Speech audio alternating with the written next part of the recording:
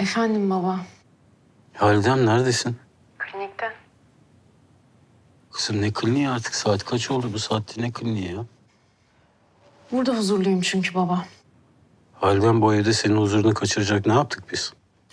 Bir tek sen bir şey yapmadın. Beraber yaptınız. Hadi eve gel de baş başa konuşalım. Bundan sonra huzurumun olmadığı hiçbir yerde olmayacağım. Huzurumu kaçıran kimseyle de konuşmayacağım baba.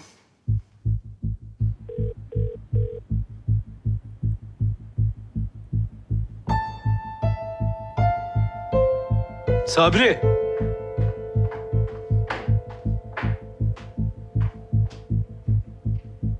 Buyur ağam. Nerede Ali Rıza? Aramadın mı? Aradım ağam. Gelmek üzeredir. Bana net bir cevap ver Sabri. Gelmek üzeredir ne? Ara. Ağanın tepesi atmak üzere de. Aç.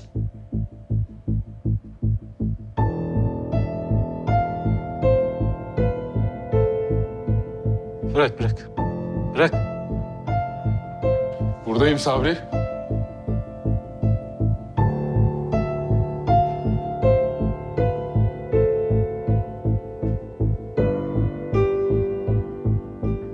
Delikanlı.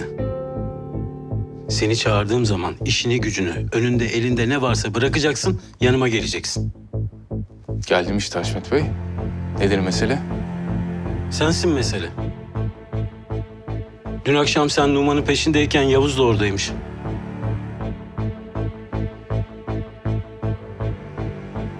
Numan'ın tuzağa çekmenin başka yolu yoktu. Benim adamımı yem olarak kullandın. Dediğim gibi ben yapılması gerekeni yaptım. Burak hem Yavuz'a hem de Numan'a oynuyordu. Aklınca Yavuz'u Numan'a öldürtüp benim üzerime atacaktı ihaleyi. Ben de kendi tuzaklarına kendilerinin düşmelerini istedim. Senin bu niyetini senden başka kim biliyordu?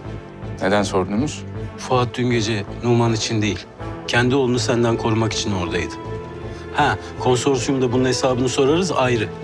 Ama bu meseleden senin de kendine sorman gereken sorular çıkıyor. Fuat planımı nereden biliyordu? Sırrını kimle paylaştığını, yanındaki yöneldeki adamların kim ne olduğuna dikkat et bundan sonra.